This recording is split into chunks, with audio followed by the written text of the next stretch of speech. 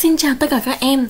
Và trong cái phần phát trực tiếp ngày hôm nay thì chị cùng với các bạn sẽ đi tìm hiểu về cái dạng là làm thế nào để chúng ta làm ra được một bài văn thuyết minh về một sự vật. Đó có thể là một, đó có thể là đồ vật này, là cây cối, là con người hoặc là một quy trình ạ. Đó. Chúng mình sẽ đợi từ khoảng 1 đến 2 phút nữa nhé, để khi mà các bạn vào đông hơn thì chị em mình sẽ bắt đầu học ạ. Như chúng mình cũng biết được rằng là về văn bản thuyết minh văn bản thuyết minh thì nhằm làm gì ạ? Nhằm cung cấp cái tri thức, đúng không ạ? Văn bản thuyết minh thì nhằm cung cấp những cái tri thức, những cái hiểu biết trong mọi lĩnh vực của đời sống. Nó gắn với những cái tư duy khoa học này, với mục đích để giúp cho người đọc hiểu rõ về đối tượng cần thuyết minh này. Và với kiểu bài thuyết minh thì các em sẽ rèn luyện được những cái thao tác, những cái kỹ năng tìm hiểu thông tin, nghiên cứu hoặc là trình bày các tri thức một cách chính xác và khách quan, đúng không ạ? Và ở trong chương trình và ở trong chương trình ngữ văn thì cái dạng bài là văn bản thuyết minh thì chúng mình cũng cần phải đạt được những cái yêu cầu nhất định, đúng không ạ? Bên cạnh cái việc là các bạn sẽ viết nghị luận xã hội này, đúng không ạ? Chúng mình sẽ viết những cái đoạn nghị luận xã hội hay là phân tích một tác phẩm văn học. Thì bên cạnh đó thì mình cũng có những cái yêu cầu về thuyết minh về một sự vật đó là có thể là con người, là con vật, là cây cối, đúng không ạ?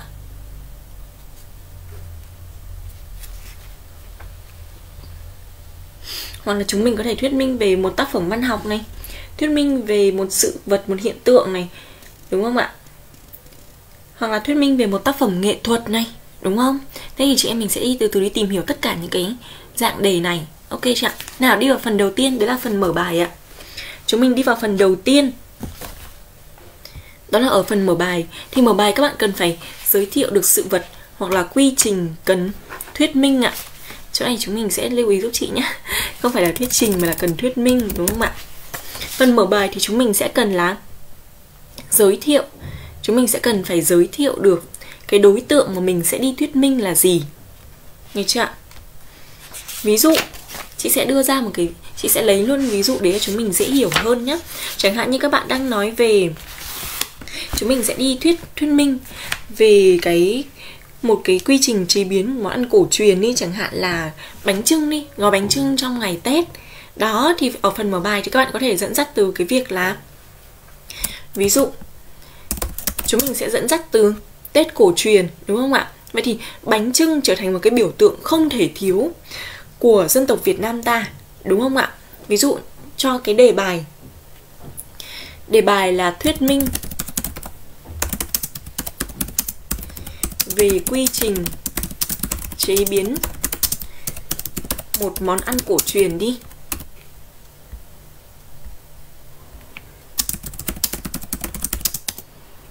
Đó, vậy thì ở cái phần mở bài thì các bạn có thể đi từ. Đó là gì đi từ tết cổ truyền. Trong dịp tết cổ truyền thì bánh trưng đã trở thành một biểu tượng không thể thiếu của dân tộc việt nam, đúng không ạ? Và từ xưa đến nay thì cái hình ảnh mà nhà nhà vào những cái đêm gọi là vào những cái ngày 27, 26, 27 Tết thì tất bật chuẩn bị cùng nhau gói bánh trưng và quây quần cùng với nhau để đón Tết đã trở thành một cái hình ảnh vô cùng quen thuộc đối với mỗi người dân Việt Nam đúng không ạ? Và trong tâm thức của người Việt thì bánh trưng là một món ăn mang ý nghĩa mang cái ý nghĩa là sự sum vầy, sự sum vầy này, đoàn kết, đoàn viên đúng không? Và vậy thì chúng mình sẽ đặt ra một cái câu hỏi rằng à làm thế nào để chúng ta có thể có được những cái chiếc bánh trưng vuông vức và đẹp đẽ, ý nghĩa. Đó, chúng mình có thể đi từ dẫn dắt từ tết cổ truyền. Thì người ta thường làm bánh trưng, đúng không ạ? Đó, dẫn dắt từ tết cổ truyền thì người ta thường làm bánh trưng. Vậy thì mình sẽ nói qua một chút bánh trưng có ý nghĩa như thế nào. Rồi là các bạn có thể đi tới điều gì? Đặt ra một cái câu hỏi rằng là vậy làm thế nào để có thể có được những cái chiếc bánh vự, bánh trưng vuông vức đẹp đẽ và ý nghĩa? Làm thế nào để có những chiếc bánh trưng vuông vức đẹp đẽ và ý nghĩa? Đó chúng mình sẽ dẫn dắt như vậy giúp chị nhé. Chúng mình sẽ dẫn dắt như vậy giúp chị ạ bên cạnh đấy thì đến với phần thân bài. Nào, phần thứ hai đến với phần thân bài thì các bạn sẽ cần phải làm gì? Mình sẽ cần phải nêu nguồn gốc, nêu xuất xứ, bối cảnh hình thành. Có thể là ở đây sẽ dựa vào dựa vào cái dạng mà mình sẽ thuyết minh, đó là về con người này, thuyết minh về đồ vật, về cây cối hoặc quy trình thì cái phần này chúng mình sẽ linh hoạt, đúng không ạ? Chẳng hạn như là mình đi nói về cái nguồn gốc của bánh trưng đấy là gì? Đấy, tương truyền thì bánh trưng ngày tết có từ lâu đời, đúng không ạ? Bánh trưng ngày tết có từ, bánh trưng có từ lâu. Và mọi người tin rằng là bánh trưng bánh dày thì có từ thời vua hùng thứ sáu, đúng không? Bánh trưng thì tượng trưng cho mặt đất, thường có hình vuông và được gói từ lá rong xanh đó. Bánh trưng thì tượng trưng cho mặt đất này, có hình vuông này, được gói từ lá rong xanh này. Hoặc rồi là mình sẽ cung cấp một chút những cái thông tin. Mình sẽ cung cấp một chút những cái thông tin là gì ạ?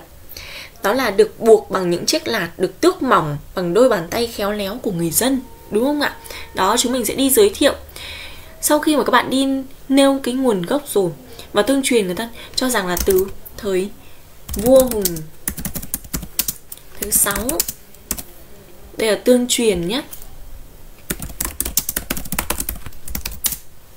chúng mình biết được rằng là qua cái sự tích bánh trưng bánh rời, đúng không ạ?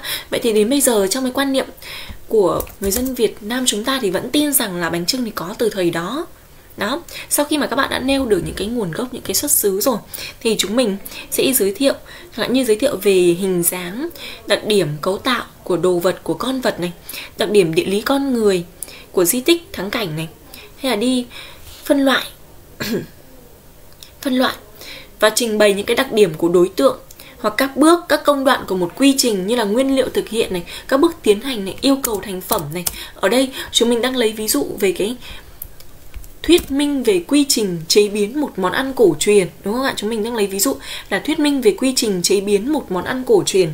Thì các bạn đang nói về bánh trưng thì ở đây các bạn có thể cái phần thân bài sau khi mà chúng mình đã giới thiệu rằng à bánh trưng có từ lâu đời rồi, và tương truyền rằng là bánh trưng có từ thầy vua hùng thứ sáu. Thì bây giờ mình có thể nói thêm. Mình nói là gì ạ? Được gói từ lá rong, đúng không ạ? Mình có thể giới thiệu là được gói từ lá rong này. Buộc bằng lạc, đúng không ạ? Rồi là chúng mình sẽ đưa ra những cái nguyên liệu này. Mình sẽ đề cập tới những nguyên liệu để làm bánh trưng như là gì ạ? Nguyên liệu để làm bánh trưng chẳng hạn như là gạo nếp, đậu xanh, thịt lợn ba chỉ, đúng không ạ? Gạo nếp này, đậu xanh, thịt lợn. Đó, rồi là những cái gia vị quen thuộc. Gia vị quen thuộc như là gì như là muối, là tiêu, là nước mắm, là đường, vân vân, đúng không ạ? Đó, chúng mình sẽ đi cung cấp những cái thông tin như vậy đó là khi mà gói bánh trưng thì cần chuẩn bị những cái nguyên liệu gì? Rồi là những cái công đoạn. Đó, công đoạn, ví dụ như là các bạn sẽ chú ý giúp chị về công đoạn làm ra thành phẩm là một chiếc bánh trưng đó có thể là gì ạ? Qua những cái công đoạn như là sơ chế này. Trong công đoạn sơ chế thì trước hết là chúng mình cần phải rửa rửa lá rửa lá rong, đúng không ạ? Có thể là các bạn đi kỹ hơn về cái phần công đoạn sơ chế, đó là gì? Người sẽ chuẩn bị những cái chiếc khăn lau để lau từng lớp lá. Sau đó thì rửa lại thật sạch, đúng không ạ? Sau khi mà rửa xong thì lá rong sẽ được phơi khô, lau khô rồi là phơi khô, cắt bỏ cái phần cuống phần cuống lá để khi mà mình gói thì bánh nó sẽ vuông hơn và dễ làm hơn. Rồi là phần gạo nếp, đó mình sẽ ngâm gạo nếp ra sao này rồi là nếu như muốn có được bánh trưng xanh thì ngâm với lá giềng chẳng hạn. Đó, chúng mình sẽ đưa ra những cái những cái việc cần làm ở trong cái công đoạn sơ chế ạ được chưa? Rồi, tiếp theo, sau khi đã xong cái công đoạn sơ chế rồi thì đương nhiên là công đoạn gói bánh, đúng không ạ? Cái công đoạn gói bánh trưng thì chúng mình cũng cần lưu ý giúp chị. Đấy là khi mà mình nói về, mình thuyết minh về cái món ăn cổ truyền là mình phải gọi gói bánh trưng thì đây là cái công đoạn mà cần sự khéo léo, đúng không ạ? Đó có thể là gói bằng tay, có thể là gói bằng khuôn. Đó, và tuy nhiên tuy nhiên thì dù là công đoạn kể cả là gói bằng tay hay gói bằng khuôn đi chăng nữa thì các bạn cũng sẽ đi vào kỹ hơn. Chẳng hạn như là việc làm mình gói bằng khuôn đi, thì lấy lấy chiếc khuôn hình vuông và xếp lá theo bốn góc của nó, đúng không ạ? Rồi đổ một lượt gạo nếp này sau đến đậu xanh, thịt lợn, rồi lại đậu, rồi lại gạo nếp, đúng không ạ? Tức là chúng ta đi, chúng ta đi nói về cái quá trình gói bánh. Đó, chúng ta khi mà các bạn quan sát ở bên ngoài như thế nào thì mình sẽ đưa vào trong văn bản như vậy ạ. Rồi cuối cùng là công công đoạn gì đây ạ? Đó là nấu bánh, đúng không ạ? Nấu bánh thì chẳng hạn như là cần phải nấu trong bao lâu này. Đó, chúng mình sẽ thuyết minh về cái việc là cần phải nấu trong bao lâu này. Và khi nào bánh đã đủ độ chín rồi, đúng không? Đúng không ạ? Và thông thường thì mình có thể đưa ra những cái thông tin như là thường bánh trưng thì được nấu trong khoảng từ 8 đến 12 tiếng chẳng hạn. Đó, chúng mình sẽ đưa ra như vậy. Rồi là sau khi mà nấu bánh xong thì sẽ được vớt, bánh sẽ được vớt lên. Và làm gì ạ? Và dùng những cái vật nặng để ép bánh xuống cho bánh ra nước, đúng không ạ? Để cho chiếc bánh trưng có thể chắc hơn này. Và chúng mình sau khi mà các bạn đi nói về những cái công đoạn rồi, thì mình có thể nêu ra cái ý nghĩa ý nghĩa của đối tượng thuyết minh. Đó có thể là ý nghĩa về công dụng đối với đồ vật cây cối con vật này, là cách sử dụng bảo quản, cách chăm nuôi, chăm sóc rồi là lưu ý trong bảo tồn phát triển, chẳng hạn là như vậy. Vậy thì, ví dụ như đối với việc mình đang nói rằng là cái quy trình làm bánh trưng như vậy vậy thì cái ý nghĩa là gì? Ý nghĩa của bánh trưng là gì? Đấy là mình có thể khẳng định rằng đây là một cái nét đẹp văn hóa, đúng không ạ? Nét đẹp văn hóa truyền thống có từ lâu đời. Đó, chúng mình có thể nêu như vậy. Cái nét đẹp văn hóa truyền thống có từ lâu đời, đúng không ạ? Và bánh trưng thì được lưu truyền từ xưa đến nay, để coi như là gì ạ? Thứ nhất, vừa là một món ăn tinh thần, đúng không ạ?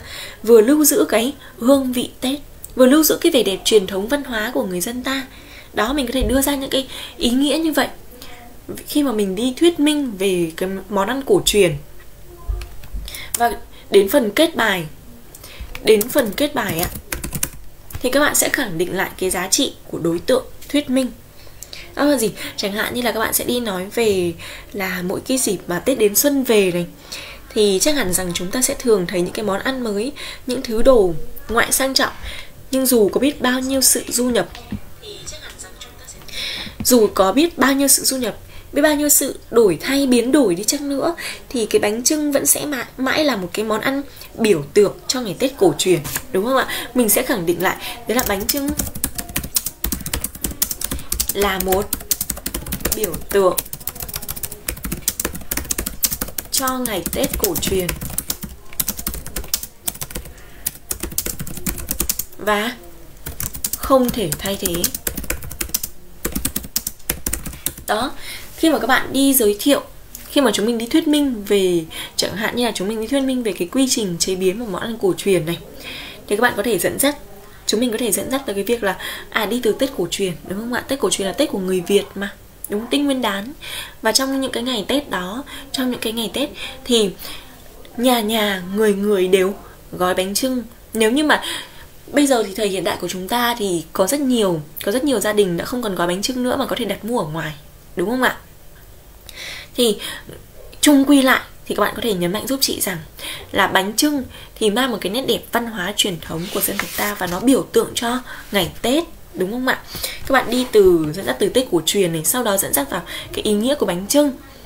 Vậy thì mình sẽ đưa ra một cái câu hỏi đó là làm thế nào để có những cái chiếc bánh trưng vuông vức đẹp đẽ và ý nghĩa đó sau đó thì chúng mình có thể đi tới cái nguồn gốc cái xuất xứ bối cảnh hình thành nguồn gốc của bánh trưng có từ bao giờ?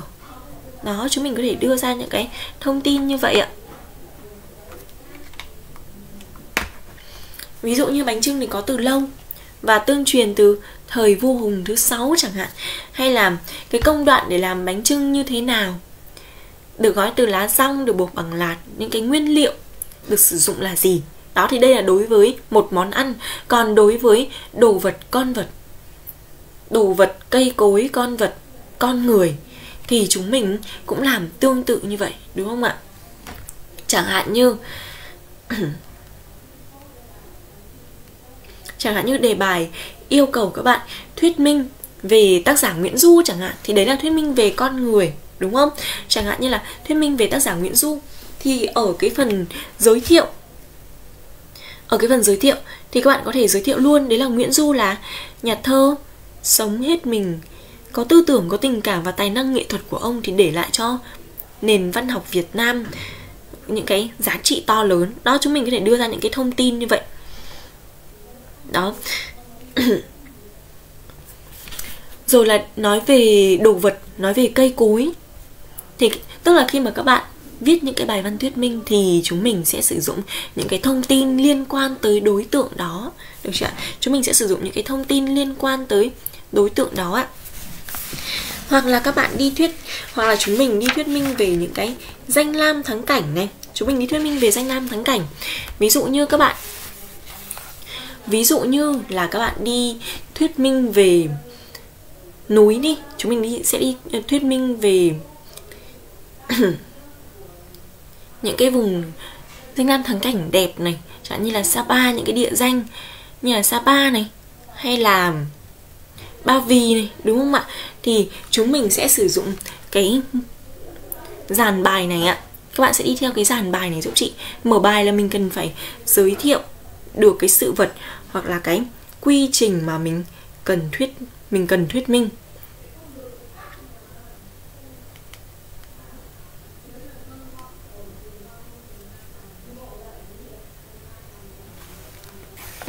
Như chị vừa nói đấy, chẳng hạn là chúng mình đi thuyết minh về Sapa chẳng hạn, đúng không? Chúng mình đi thuyết minh về Sapa thì các bạn có thể nói rằng là vị trí địa lý ở đâu? Vị trí địa lý thì ở đâu? Chẳng như là Sapa thì nằm ở một huyện, ở huyện Lào Cai, đúng không ạ? Là một thị trấn vùng, ở thị trấn ở vùng cao nổi tiếng với, nổi, đấy là thị trấn. Chúng mình sẽ đi giới thiệu này. Chúng mình sẽ đi giới thiệu, đi thuyết minh về Sapa. Các bạn sẽ đưa ra những cái thông tin như là gì ạ? Đấy là liên quan tới gì? Thứ nhất là vị trí nằm ở đâu? Thứ hai thứ hai là khi mà các bạn nhắc tới Sapa thì chúng mình thường nhắc tới những cái điều gì chẳng hạn như là con người, là phong cảnh, là ẩm thực, chẳng hạn là như vậy, hay là khí hậu, đúng không? Vậy thì các bạn sẽ lưu ý này, khi mà chúng mình đi thuyết minh bất kỳ bất kỳ một đối tượng nào đó, tức là chúng ta đang đi cung cấp lại những cái tri thức, những cái hiểu biết cho người đọc, đúng không ạ? Chúng ta sẽ đi cung cấp những cái hiểu biết, những cái tri thức cho người đọc. Tuy nhiên thì trong cái quá trình các bạn thuyết minh ấy, trong cái văn bản chúng mình thuyết minh, thì cũng sẽ có đan cài những cái yếu tố như là tự sự, đúng không ạ? Trong văn bản thuyết minh thì có đan cài những cái yếu tố trong văn bản thuyết minh. Có lồng ghép, có đan cài. Những yếu tố như là gì ạ? Như là miêu tả, như là biểu cảm, đúng không ạ? Như là thực sự. Đó, thì chúng mình sẽ sử dụng kết hợp linh hoạt những cái phương thức biểu đạt này. Những cái yếu tố về miêu tả, những yếu tố biểu cảm, đúng không? Đó, chúng mình sẽ lưu ý như vậy giúp chị nhé. Chẳng hạn như là khi mà các bạn đi nói về cái khung cảnh thiên nhiên của Sapa ấy, thì đương nhiên là mình sẽ sử dụng cái gì ạ? Biểu sử dụng cái yếu tố miêu tả vào, đúng không ạ? Chẳng hạn như là du khách đến Sapa thì không chỉ tận hưởng được cái không gian yên bình và đẹp như trong tranh, mà còn để khám phá những cảnh đẹp hoang sơ những cái vẻ đẹp hoang sơ hùng vĩ rồi nơi khám, để khám phá những cái văn hóa phong tục nét đẹp đa dạng của người dân người của người dân tộc thiểu số nơi đây đúng không ạ? Vậy thì cái yếu tố mà các bạn sử dụng cái vậy thì cái yếu tố miêu tả mà chúng mình sử dụng ở đây là gì? Mình đã nói về cái không gian đẹp như trong tranh đúng không gian yên bình thơ mộng của những của vùng núi cao tây bắc đúng không ạ? Rồi là những cái cảnh đẹp hoang sơ giống như là ruộng bậc thang như là thác nước rồi là chúng mình có thể đề cập tới nhà thờ ở Sapa, đúng không ạ? Rồi là có thể nói rằng là Sapa còn có nhà thờ cổ ở ngay trong thị trấn và một tu viện xây từ đá tại sườn đồi thoáng đãng và mát mẻ này. Hay là cách đó thì còn có cả những cái hang động rộng lớn, đúng không ạ các bạn? Đi vào, đi, khi mà chúng mình đi tới Sapa, chúng mình có thể đề cập tới một số những cái địa điểm mà du khách có thể đi tới, như là gì ạ? Như là thung lũng thung lũng mường hoa này, hay là hang tả phìn, đúng không? Hay là chợ tình Sapa thì đó là những cái nơi mà chúng mình đều có thể là đặt chân tới đúng không? Đấy đều là những nơi rất đẹp mà khi mà du khách đi tới Sapa thì chúng mình có thể tham quan ở đó đúng không ạ? Vậy thì các bạn sẽ chú ý giúp chị nhé. Chúng mình sẽ lưu ý giúp chị này. Đấy là trong cái quá trình các bạn viết một văn bản thuyết minh ấy thì các bạn có thể lồng ghép những cái yếu tố như là miêu tả, là biểu cảm, là tự sự ạ lưu ý như vậy giúp chị nhé khi mà chúng mình đi, thuyết minh thì các bạn có thể lồng ghép những cái yếu tố như là miêu tả như là biểu cảm như là tự sự. Và bên cạnh đấy này bên cạnh cái việc là văn bản thuyết minh đề cập tới một sự vật một tác phẩm văn học thì còn đề cập tới hiện tượng đúng không ạ? Đề cập tới hiện tượng thuyết minh về thuyết minh về một hiện tượng này.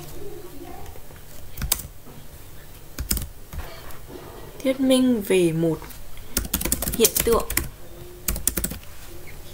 Tự nhiên ạ, sẽ đi thuyết minh về một hiện tượng tự nhiên.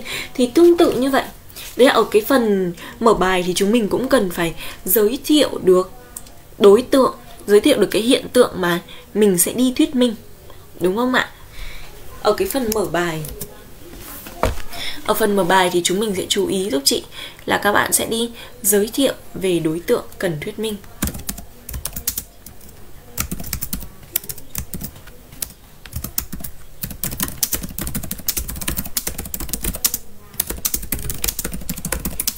đó phần mở bài thì chúng mình sẽ đi giới thiệu về đối tượng cần thuyết minh.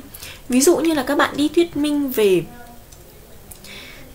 chẳng hạn như chúng mình chúng mình đi thuyết minh về những cái hiện tượng tự nhiên như là thủy triều hay là động đất hay là núi lửa chẳng hạn, đúng không? Hay là cái việc biến, hay là cái hiện tượng biến đổi khí hậu chẳng hạn. Đó, mình sẽ dẫn dắt giới thiệu vào cái đối tượng cần phải thuyết minh. Thứ hai, đến phần thân bài ạ. Đến phần thân bài. Đến phần thân bài ở đây. Thì ở luận điểm số 1 ạ. Ở luận điểm số 1 Luận điểm 1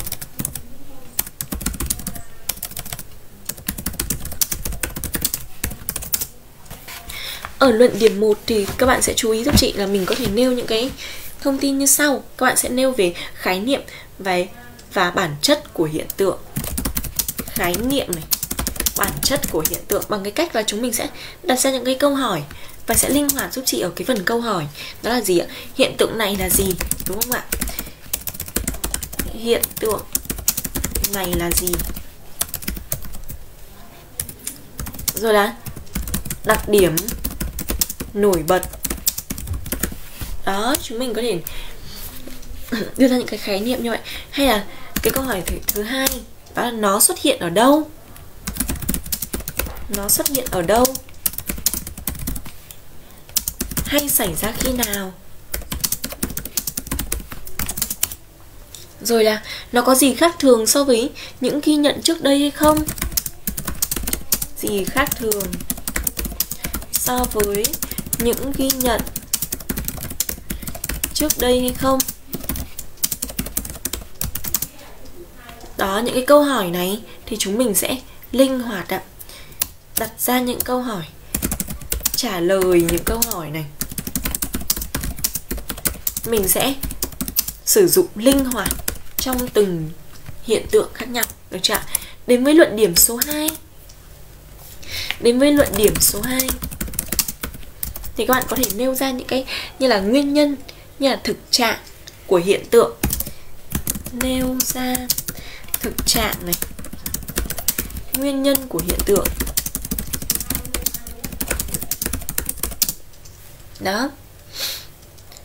Chẳng hạn như là các bạn sẽ đi trả lời những cái câu hỏi. Chúng mình sẽ đi trả lời những cái câu hỏi như sau ạ. Khi mà các bạn nêu ra thực trạng, nêu ra nguyên nhân của hiện tượng, thì chúng mình sẽ, chúng mình sẽ đi trả lời những cái câu hỏi như sau. Như là, nguyên nhân của hiện tượng này là gì? Nguyên nhân của hiện tượng này là gì này? Rồi là, có chuyên gia nào đã có chuyên gia nào đã giải thích về hiện tượng này chưa, đúng không ạ? Các chuyên gia giải thích về hiện tượng như thế nào? Chẳng hạn như về hiện tượng biến đổi khí hậu, về hiện tượng ô nhiễm môi trường này, về hiện tượng gì ạ? Băng tan ở hai cực, đúng không ạ? Đó, thì chúng mình sẽ đưa ra những cái ý kiến của các chuyên gia khi mà nói về những cái hiện tượng này thì như thế nào? Rồi là đặt ra một cái câu hỏi là có điều gì cần bổ sung cho những giải thích đã có? Đó, chúng mình có thể đưa ra đặt ra những cái câu hỏi như vậy. Hay là câu hỏi là gì ạ? Hoạt động nào của con người góp phần làm nảy sinh hiện tượng này? Hoạt động nào của con người góp phần làm nảy sinh hiện tượng này? Đó, chúng ta có thể đưa ra những cái câu hỏi như vậy. Được chưa ạ? Chúng mình có thể đưa ra những cái câu hỏi như thế này cho cái bài thuyết minh về một hiện tượng tự nhiên. Chúng ta sẽ lưu ý như vậy giúp chị nhé. Khi mà chúng mình đi thuyết minh về một hiện tượng tự nhiên ở trong cái phần nêu thực trạng này, nêu nguyên nhân của hiện tượng này, thì các bạn có thể đề cập tới những cái câu hỏi như là nguyên nhân của hiện tượng này là gì? Các chuyên gia giải thích như thế nào về hiện tượng? Và có điều gì cần bổ sung cho những cái giải thích đã có hay không? Và cái hiện tượng này thì con người, cái sự góp mặt của con người có ảnh hưởng như thế nào tới hiện tượng này?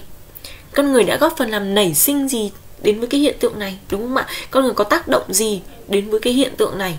Đó, chúng mình có thể đưa ra những cái, chúng mình có thể đi trả lời những cái câu hỏi như vậy. Và lưu ý giúp chị là mình sẽ cần phải linh hoạt, đúng không ạ?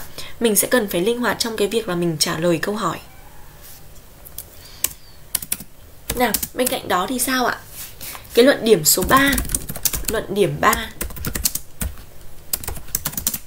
luận điểm 3 thì các bạn có thể nêu cái ảnh hưởng của hiện tượng này, đúng không? Ảnh hưởng của hiện tượng.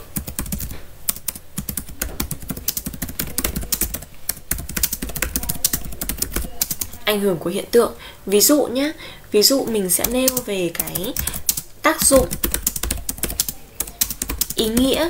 Ở đây thì khi mà mình đề cập tới ý nghĩa thì đương nhiên là đó phải là hiện tượng theo hướng tích cực đúng không ạ? Nó phải là hiện tượng theo hướng tích cực. Còn nếu như mình nêu về hiện tượng tiêu cực thì mình sẽ đưa ra cái tác hại hậu quả đúng không ạ? Theo hướng tiêu cực. Chẳng hạn như khi mà nhắc tới hiện tượng sao băng. Vậy thì hiện tượng sao băng thì mình sẽ nói về cái gì? Mình sẽ nói tới cái việc là thể hiện trong cái quan niệm của mọi người ấy, trong quan niệm của con người thì người ta vẫn tin rằng sao băng là có thật đúng không ạ? Người ta vẫn tin rằng sao băng là có thật vậy thì sao băng sẽ làm gì? Sẽ thể hiện cho những cái mong ước của con người, đúng không? Tiếp theo là đến với cái phần tiêu cực thì chúng ta sẽ, đó là những cái hiện tượng như là biến đổi khí hậu này, hiện tượng ô nhiễm môi trường, đúng không? Sau khi mà các bạn đã chỉ ra được cái ảnh hưởng của hiện tượng rồi này, thì chúng mình sẽ đi tới cái phần luận điểm 4 đó là biện pháp phát huy. Chúng mình sẽ đi tới cái phần 4 là biện pháp phát huy. Nếu ở đây, nếu là hiện tượng tích cực và giải pháp khắc phục.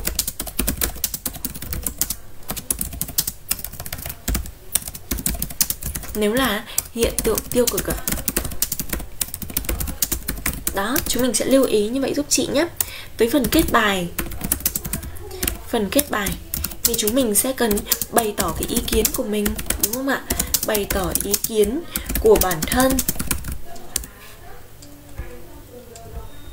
Các bạn sẽ cần bày tỏ ý kiến của bản thân về hiện tượng xã hội tự nhiên, về hiện tượng xã hội này, hoặc là hiện tượng tự nhiên, đúng không ạ?